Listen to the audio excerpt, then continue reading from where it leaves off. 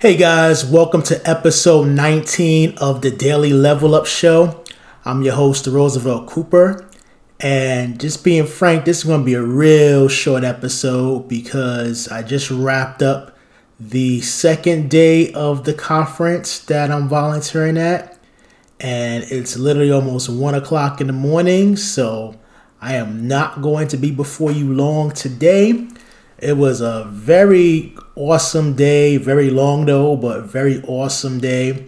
Today we basically cover the outer game of an entrepreneur and we focused on what are some strategies that we can use to build our businesses. We covered some marketing strategies, which was really fun.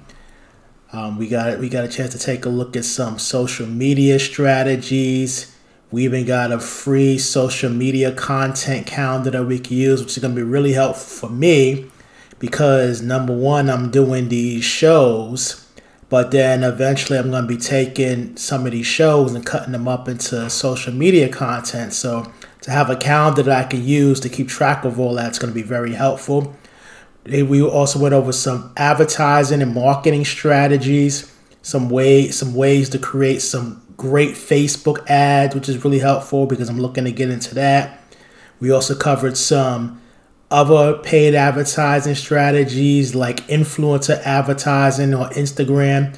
So, partnering up with other influencers on Instagram to promote our message. So, it was a great day overall. Got a lot of great content and a lot of actionable content that I could take to apply to my business.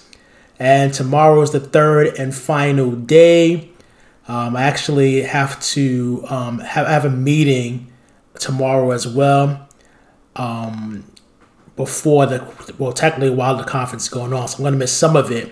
But um, it's gonna be a great day tomorrow as well. Looking forward to it. And yeah, so that that pretty much wraps it up. Take care, and I will see you in the next episode.